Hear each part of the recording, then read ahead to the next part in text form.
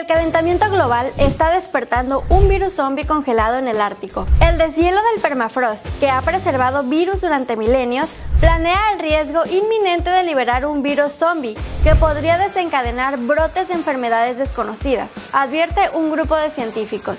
Señalan que estos virus pueden generar enfermedades que en el norte del planeta podrían transmitirse al sur del mundo, con potencial de infectar a los humanos y provocar nuevas pandemias. El permafrost, abarcando una quinta parte del hemisferio norte, sirve como un relicario de virus antiguos en condiciones ideales para su preservación. El suelo frío, oscuro y carente de oxígeno ha mantenido congelados patógenos durante largos periodos, como ilustra quien compara su resistencia al paso del tiempo con la capacidad de un yogur para permanecer comestible durante después de 50.000 años. El cambio climático ha desencadenado el deshielo del permafrost, especialmente en regiones como Canadá, Alaska y Siberia. Sin embargo, los científicos señalan que la verdadera amenaza radica en la desaparición del hielo marino del Ártico, impulsada por el calentamiento global. La falta de atención a esta amenaza latente es evidente, según Jean-Michel Claverie, quien destaca la necesidad de establecer instalaciones de cuarentena para identificar y tratar rápidamente posibles brotes,